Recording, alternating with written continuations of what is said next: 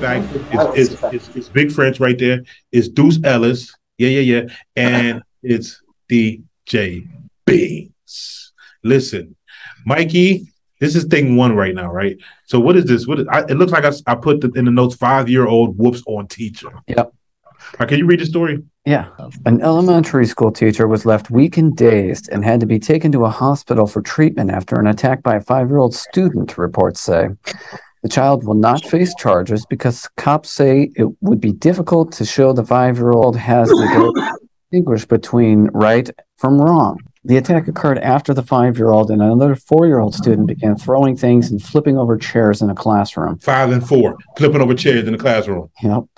The four year old was removed from the classroom and was taken away to an empty cool down room. A cool down room. Now, did he cool down? Continue, Mikey. It was there the student then attacked the teacher, hitting her with hands, fists, and feet. The teacher managed to get on a radio and call for help. The student She had to reported call for help. continued oh, to attack the teacher Wait, wait, wait. He's not. He's not over. Go ahead, Mikey. after she was on the floor and unresponsive. The victim is in her late 30s or early 40s with a slender frame and about five foot four. This White. Yep. The student is estimated to weigh between 50 and 60 pounds. A police report shows an officer found the teacher sitting on the ground against a wall in a faint state. Slumped. That's Yeah. called slumped. Yeah. The report says the teacher began coughing and dry heaving and was unable to respond to emergency workers' questions. She was taken to Memorial Regional Hospital for treatment. The teacher's injuries were so severe that she had to be intubated at the hospital and reportedly will need surgery. Okay, that's it. Don't read the rest of All this, right. right? Listen, what's the wildest thing you ever saw, French? I'm gonna go to you. What's the wildest thing you ever saw happen in school when you was coming up? Well, I got kicked out of um, my freshman year of high school because they said I started a riot. Did you start a riot? I, I, I did I did I did throw the first punch.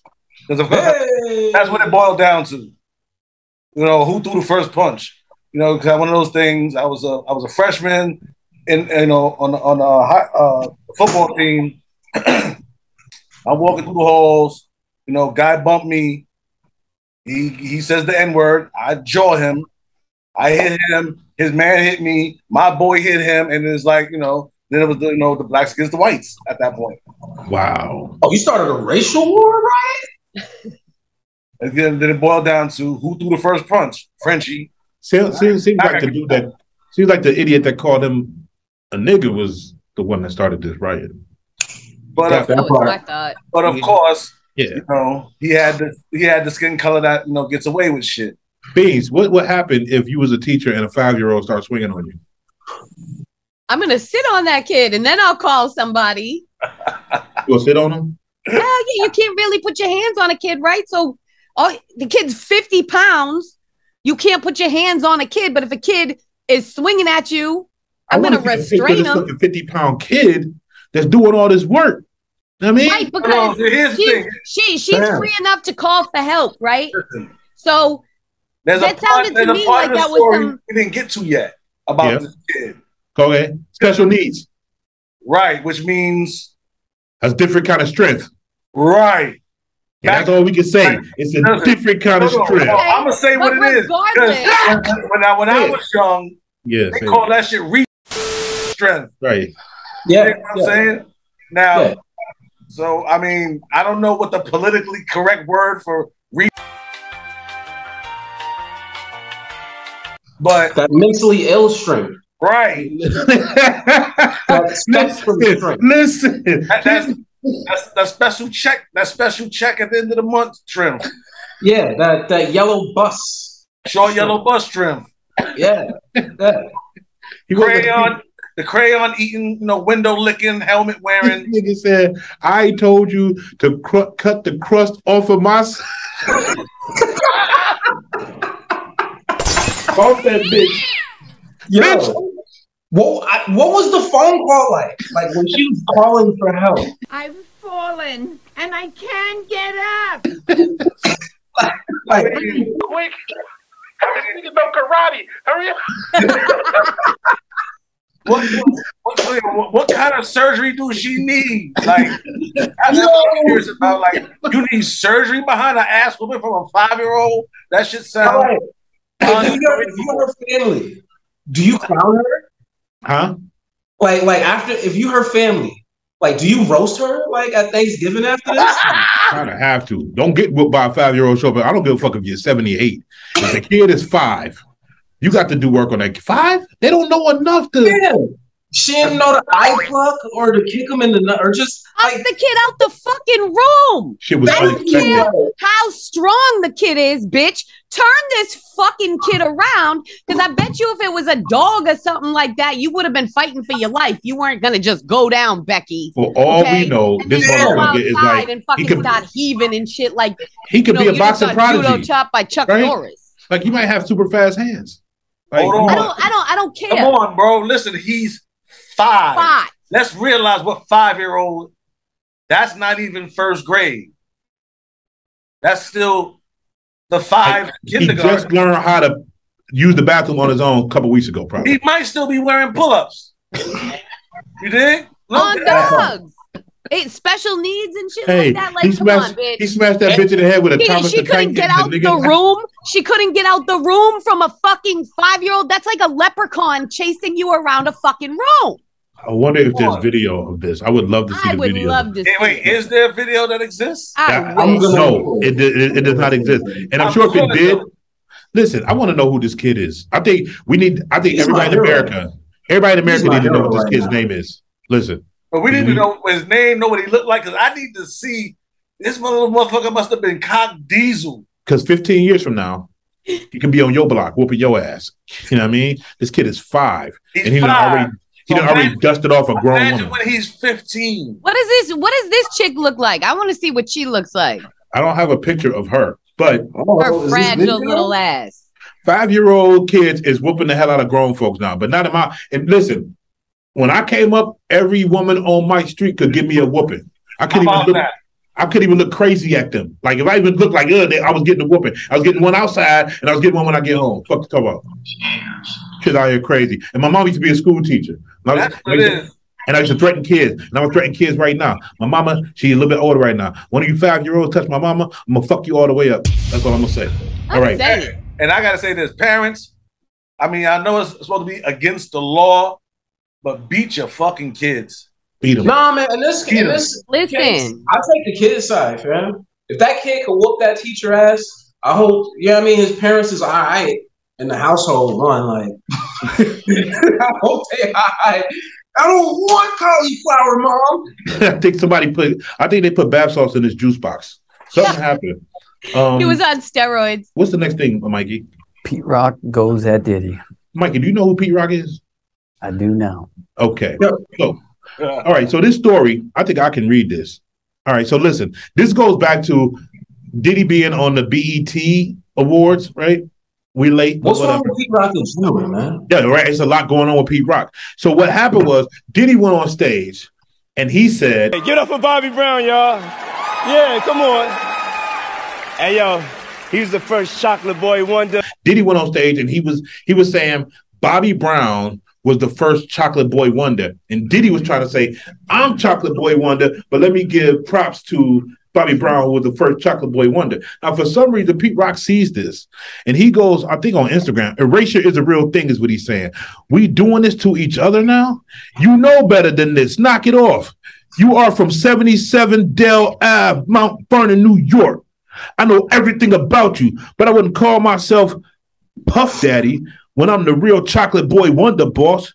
You kind of came out of nowhere. Been in Mount Vernon since the first grade, all the way to graduating high school. I came up with the town. This is what Pete Rock is saying. He goes on to say, My brother Grap Luva taught you dance steps in your garage on Dale Ave. Talking to Diddy right now.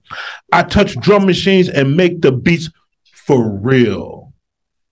I make the beats for real, is what he's saying to Diddy. You cannot erase what I have done in music or try to take my name. Everyone in hip hop knows who the Chocolate Boy Wonder is. You brought Biggie, you brought Biggie to the basement only to diss me later and not use me on any of his projects. You cut me out the one more chance video when Big himself invited me. you got to where you wanted to then be shitted on. I don't know what that means. Oh, you- you got to where you needed to get to, and then you shitted, basically. Thank, right. Okay. So P. Diddy jumps out the window on the Boy Wonder comment, the Chocolate Boy Wonder comment, and Diddy goes and brings up all this other shit. It sounds like they got more issues than just him calling himself the Chocolate Boy Wonder. He said, Listen, I make beats for real. You cut me out the one more chance video. Somebody talk to me about what's going on with just let's just start with Diddy and Pete Rock. Anybody. That sound like an ex. Pete Rock sound like an ex I got. She talked just like that. Like, yo, you don't never, you know what I mean? Like, Pete Rock just sound like a sworn lover. I hope he's all right. Nah, nah, nah. nah we ain't, I want him to know we he ain't, we ain't gonna do that to P Rock. That's my homie. And uh, Pete, Pete been doing shit like this. It, it- it's not just this Diddy situation. He been doing some weird things. That's why, like I said, I don't. Not my hope he all right. I hope. nah, he's good. Respect to Pete Rock, but you know I like the show to be spicy. So if y'all niggas gonna fight about this shit, then fight about the shit. But what is it? Do saying, What type of instigation? do saying, let's burn. Let's start. This is organic. God damn it. Uh, French, what's going on with your boy? Listen, I mean, he felt some type of way because everybody in hip hop does know if anybody in hip hop or music is the chocolate boy wonder, it's motherfucking Pete Rock. Let's just keep it a hundred. Let's keep it a buck. I never knew that. I didn't know Diddy was the chocolate. I didn't know anybody was chocolate boy. Somebody in the Pete somebody. Rock. Listen, Listen, you can go back to uh what's the first album? Pete Rock CL Mecca and the Soul Brother. And yeah, with CL listen, Smooth. just listen to that. And several different times in that record, he calls himself "I'm the Chocolate Boy Wonder." Yep. And Okay. this is and this is before all that shit. This is before Somebody in the comment section Yeah, said that he CL also. Smooth. Somebody in the comment section said he also called himself uh, Soul Brother Number One, Soul with- Brother number one. but that's James Brown. Right. So somebody in the comment section said, "Nigga, you biting off of James Brown." Oh. That's, I mean, that's a point, but Listen, didn't Pete Rock want to turn around? niggas is just picking and choosing what they want to be mad about these days. So you know True what I'm that. Now he did, and and listen, he's suing Nas because he didn't get the royalties from um from the Illmatic album. Whose world is this? He's owed millions. So what's going on with Nas? And Pete Rock. If if that album's from like 93, 94, why would that be a Nas thing? That would have been a later thing. Because I, I was just about to ask, does Nas have rights to that album? That was my first I think, I question. think Nas got his masters recently since he's been free. So that would be a new thing that if he just got, if he, that's what, because that's what I want to know. Because if he just got the rights to his masters, did was he even involved in putting the splits together in the first place, or was that No, the that's what- label? So That's I like, where's the, off. where's the contracts? What is what do the contracts say? Right. You know what I'm saying? Because none, none of none of the people involved are like new to the game. Everything I'm sure had a contract that said exactly what everybody was supposed to get. Which is again why that sounds salty because that's what thirty plus years almost. Where it's That's been- a, it's a, it might be something fresh that came up, but look, I'm gonna tell you right now. One of the reasons I've been so turned off with hip hop is that there's people out there right now that I thought were just fine with money that I'm watching sell out right now. So I don't know if people are going through hard times, so they really just going for everything that they can right You now. feel like naming names today. Um, she named names. you want me to? Yeah. I don't know if you want me to name all the names, but Only all of them. I mean, I got, I myself got thrown under the bus for some chump change for just a couple grand. People that were supposed to be real close to me. Um, you know, I'm watching. I'm the my biggest thing right now is the the whole uh slaughterhouse situation. That was a heartbreaker for me because that looked like a money grab, if you ask me. I was low key waiting for the jig to be up and there be a slaughterhouse tour. But nah, that's some real shit. And I seen some real pain coming from Royce's side. So that hurt me to see. Um, you know, I'm supposed to Here's be the funny Crooked thing about the slaughterhouse I got thrown under the bus by somebody who sold me out for a couple fucking grand. So, and I can't fully speak on some of it either because there's, you know, I'm doing my thing. This ain't no street shit either. This is some legal shit. So I'm handling the mine. slaughterhouse thing. Here's the funny thing. Why the motherfuckers be arguing so much and niggas put about reunion this and reunion that? Yeah, the time has passed. Nobody checking for the shit no more. I'm gonna say it, nigga. It's Nah, power. ain't no reunion. Powers. They broke Powers up. said it. No, nobody's even. And I'm a Joel. I'm a Joel Ortiz fan. Listen, listen. Nobody checking. Quit talking about. Quit talking. Slaughterhouse members. Let's do this. Let's quit talking Slaughterhouse. 'cause Nobody give a fuck. Respectfully. You don't even know what I'm talking about then. You realize it was like Crook and Joel coming out saying that they broke up and I, they had- that whole little. they had little white boys burning fucking slaughterhouse merchandise in the video. Oh, I saw that. I saw all that. Right. Like, like, so and no, ain't, ain't no reunion. Clearly, they've made you it very you could clear walk down. You could you could happen. walk down each one of these dudes' blocks, and nobody could tell you as much information about that shit as I just said. Which is like just repeating what you said. Does shit get burned up in the video? Does anybody give a show our hands? Who gives a fuck? You give a fuck about Slaughterhouse? Yeah. Dude, I'm a huge. You want them to get back fan. together? Huge. I'm. I'm. I've always been All a Slaughterhouse fan. So, because we I did a whole about, Slaughterhouse tribute set. Bang. We we was talking about dudes being salty and not having the bread, and then there's some people who figure out new ways to make money, and it'd be like, oh, well, you lit. Maybe we should all get back together and get lit. And it don't always work out like that. I respect So, those so that situation seemed like a money grab. So with the to me, the Pete Rock situation, that has to for me, it all has to go back to how long has Nas even had the rights to his own shit. And once you have, and, and this is something that I don't know that maybe, you know, French or Dukes, maybe you can answer for me, but once splits are put in place by a label or whoever, and then you get your rights back, can you even go in and adjust all of that? Or would you have to take the album down and re-release it with new splits and everything? How would that even work? Nah, the It was first album. It was it was it was Columbia Records, right? First album. I don't know that he owns those masters or whatever. So maybe That's he what I'm will- saying. No, what we're saying is, and, and this is what makes it salty coming from Pete, is if Nas recently got his masters back, which I know that that's something that he's been like working towards.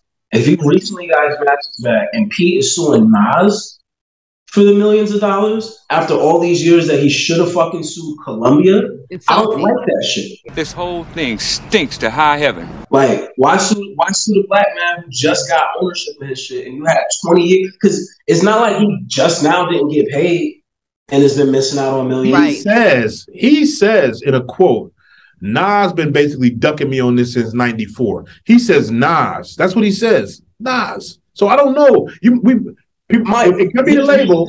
No, here's the thing though. A 100%, if I'm Nas, signed to Columbia, and Pete Rock calls me, the first time I'm like, talk to Columbia. If you keep calling me, I don't have nothing to say to you because I can't go to. Col- It's your job to call Columbia and get paid. I, just because I'm Nas, and you, you know what I mean? It's not like that means that we're friends or business partners. We did our agreement. He probably took cash up front for the beat and then was supposed to get his royalties. And who knows if he even anticipated that Illmatic would go on to make a lot of money because it didn't. No, I. I mean nobody ever really anticipates that kind of shit. And when it when it comes down to it, you know how this whole system works. I mean, that's even assuming Columbia paid Pete Rock any money to for any beats. You know how this shit is. Producers get shafted just as bad as you know most other people in the background. So Get shafted. Mikey, what's next though? pause. Disco was a disposable one. uh, Was New Jack Swing also disposable? Are you scared to use your voice today? I just don't know how loud I am. Is it because your dick is peeling? Yes. Fuck. A valid excuse you needs ask me. Moisturizer. This is this is why Beanz is on the show, but I can't never take her out nowhere. and pop- What's poppin' is your boy Mike Powers. The, intro king.